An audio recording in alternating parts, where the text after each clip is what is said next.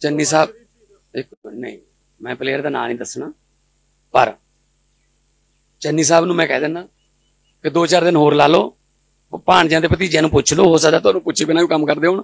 ਨਹੀਂ, ਮੈਂ ਪਲੇਅਰ ਸਾਹਮਣੇ ਲੈ ਆਉਣਾ, ਫਿਰ ਫਿਰ ਉਹਨਾਂ ਦੀ ਕੁਝ ਨਹੀਂ ਰਹਿਣੀ। ਇਸ ਕਰਕੇ ਕਿਰਪਾ ਕਰਕੇ ਟਕੇ ਰਹੋ ਤਾਂ ਚੰਗਾ ਹੈ। ਹਾਂ ਜਾਂਚ ਇਹਦੀ ਜ਼ਰੂਰ ਕਰਾਂਗੇ ਕਿ ਕਿਹੜੀ, ਕਿ ਐਂ ਦੋ ਐਂ ਦੋ ਕਰਨ ਦਾ ਮਤਲਬ ਕੀ ਹੈ। ਇਹ ਮੈਂ, ਇਹ ਮੈਂ- ਇੱਕ ਮਿੰਟ, ਇਹ ਗੱਲ ਕਹਿ ਕੇ ਮੈਨੂੰ ਕੋਈ ਟੀਆਰਪੀ ਮਿਲਣੀ। ਇਹ ਇਹ ਗੱਲ ਮੈਂ ਪਹਿਲਾਂ ਨਹੀਂ ਕਹੀ। ਮੈਂ ਜਿੱਦੇ ਮੈਚ ਦੇਖਣ ਗਿਆ ਉਹਦੇ ਮੈਨੂੰ ਪਲੇਅਰ ਮਿਲੇ ਉਹਨਾਂ ਨੇ ਕਿਹਾ ਕਿ ਸਾਡੀ ਆ ਆ ਹਾਲਤ ਹੈ ਜੀ। ਪੰਜਾਬ ਦਾ ਪਲੇਅਰ ਸੀ ਪੰਜਾਬ ਦਾ ਮੁੰਡਾ ਸੀ ਪੰਜਾਬੀ ਸੀ।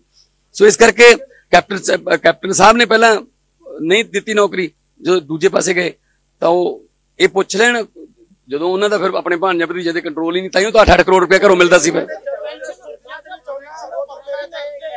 ਦੇਖੋ ਜੋ ਵੀ ਕਾਨੂੰਨ ਜਿਹਨੇ ਤੋੜਿਆ ਉਹ ਤੇ ਪਰਚਾ ਹੋਊਗਾ ਔਰ ਜਿਹੜਾ ਕਾਨੂੰਨ ਮੁਤਾਬਕ ਪਰਚਾ ਬਣਦਾ ਹੈ, ਚਾਹੇ ਉਹ ਕਰਪਸ਼ਨ ਦਾ ਹੈ, ਚਾਹੇ ਉਹ ਆਮਦਨ ਤੋਂ ਵੱਧ ਪ੍ਰਾਪਰਟੀ ਦਾ ਹੈ, ਚਾਹੇ ਉਹ ਕਿਸੇ ਭਾਵਨਾਵਾਂ ਨੂੰ ਭੜਕਾਉਣ ਦਾ ਹੈ, ਜਿਹੜਾ ਵੀ ਪਰਚਾ ਬਣੂਗਾ, ਉਹ ਪਰਚਾ ਅਸੀਂ ਦੇਵਾਂਗੇ।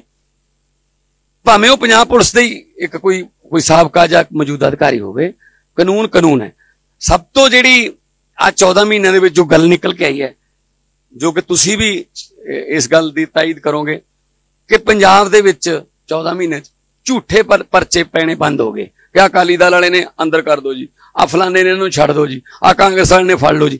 ਅਸੀਂ ਕਦੇ ਵੀ ਆਪਣੀ ਪੁਲਿਸ ਨੂੰ ਕਿਸੇ ਔਕਵਰਡ ਪੋਜੀਸ਼ਨ 'ਚ ਨਹੀਂ ਪਾਉਣਾ ਚਾਹੁੰਦੇ ਕਿ ਇਹ ਪੋਲੀਟੀਕਲ ਪਰਚਾ ਕਰ ਦਿਓ ਜੀ, ਉਹ ਉਹ ਅਸੀਂ ਨਹੀਂ ਕਰਦੇ।